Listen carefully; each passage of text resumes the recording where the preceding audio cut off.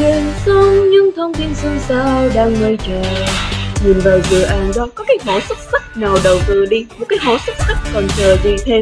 Không những đẹp mà lại còn sang khoa. Tôi thấy những công nhân thi công rất tốc độ. Họ lại vừa đầu tư, nâng cấp lại toàn bộ an ninh.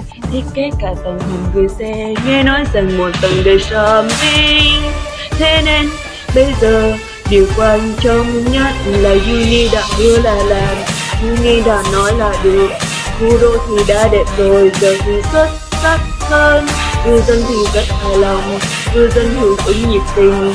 Khu đô thị khi hoàn thành lợi nhuận sẽ gấp đôi gấp đôi gấp đôi đôi đôi đôi đôi.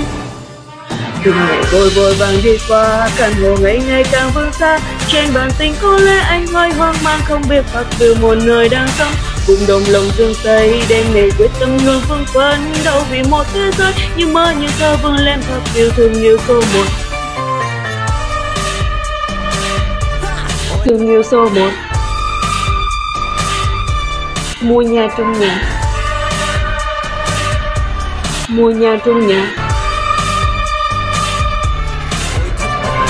Ôi, từng ngày mơ ước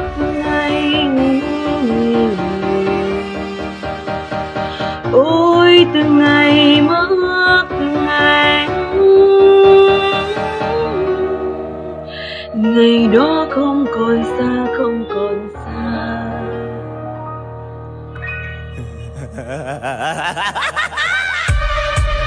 Từng ngày vội vội vàng đi qua căn hộ ngày ngày càng mưa xa. Thật hàng em sẽ sống trong không gian xanh tươi vui hơn hoàn từ ngày mới đến và học đồng công ty luôn rõ ràng về mặt pháp lý. Đây về một thế giới